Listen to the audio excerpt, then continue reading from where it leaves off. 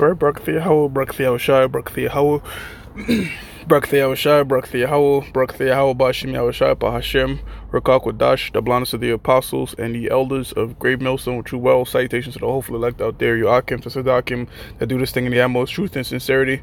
I'm the priest Shimon, I'm coming at you with a GMS to the point. Um, the title of this lesson is going to be entitled to the Shakespearean brothers, quote unquote, as the apostle Elder Tahar would call them. And uh, just breaking out Habakkuk chapter 2, verse 2. Um, of course, um, um, well, brothers might not know this, but you know, if you're watching the live streams and even after camp, Apostle Tahar stresses, um, you know, we don't have to um, use, um, you know, words that are hard to interpret, What and and you know, the super PhD words, as he would say. But you do have brothers that do like to um, expand the English uh, language and, vocab- and, and, put a lot of vocabulary in their lessons. A prime example is uh, Apostle Elder Gabar, and you have brothers that do speak with a, a Shakespearean sense, as um, the elder brother Barak Gabar, uh, as Elder Gatos pointed out. So um, I think I figured I'll put this lesson together because I was studying the Koine Greek and watching a few lessons on it, and the same thing is pretty much evident today uh, the word koine um, just mean common. Actually, let me let me see if I could jump to the picture I have here on the bottom. This is a snapshot from uh, a video, you know, interpreting ancient Greek with um, interpreting ancient Greek. It can, if you interpret it basically, can you speak modern Greek, or could a modern Greek person understand ancient Greek? And what they were bringing out was the fact that you didn't just have the Koine Greek, which is what the bulk of the New Testament is written in, but you had um, archaic and classical Greek with their many different dialects, and that's what's so important.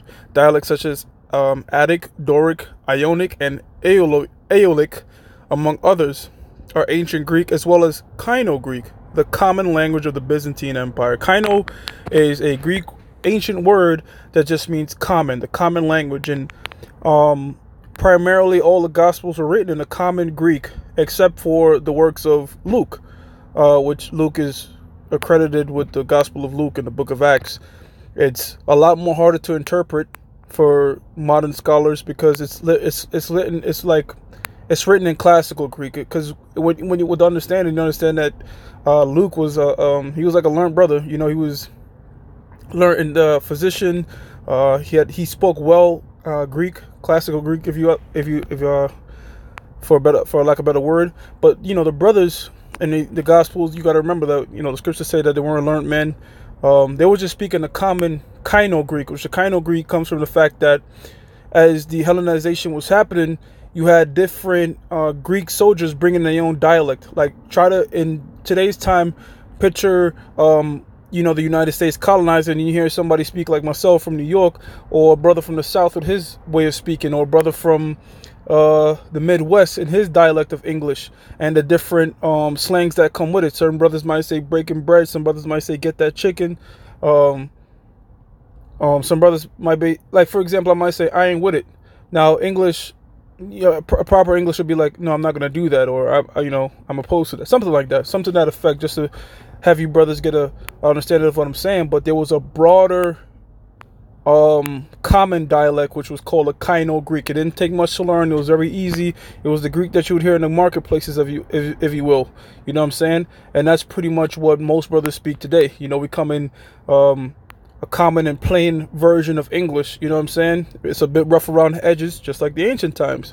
But that's not to say every brother is gonna speak that way. Again, you're gonna have brothers that's gonna that like to uh, the brothers that are wordsmith. You know, they like to you know use different words um, you know, that have uh, double meaning sometimes, and um, that that that was common back then. is common now, um, and at the end of the day, no matter the dialect, you just have to, as the scripture I'm about to read, make it pretty much simple to understand. So this is the book of Habakkuk, chapter two, verse two. It says, "And the Lord answered me and said, Write the vision and make it plain upon tables. Now, how are we writing the vision and make it plain upon tables today? Well, let's putting up um, videos. All right, that's the modern day version of writing and writing on tables because we're not writing out letters nowadays or dealing with clay tablets. What we have is the internet videos, And to make it plain is to make it easy to understand for those that are just coming in, as the apostle said, you know, feed them milk and um, always remember that somebody's just coming in. You don't have to speak to them like a theolo- uh, theological scholar, some, something that effect. Uh, you know, just something that Jake would understand, right? Um, it says, write the vision and make it plain upon tables that he may run that readeth it. And you're going to do two different things, man. All right. When a heathen uh, sees his judgment, he's going to take off and run. But if a brother of the, um, the of the hopeful this, he's going to take it and run with this truth. Um, I want to back this up with another precept concerning this topic. And this guy was making some good points in the video of why to study the Koine language because, you know, he was bringing out the fact that you know, just like the English language today, the Koine Greek had, you had certain words that had double meanings. Um, one of the examples they use is soter, like we know Ptolemy Soter, which means savior.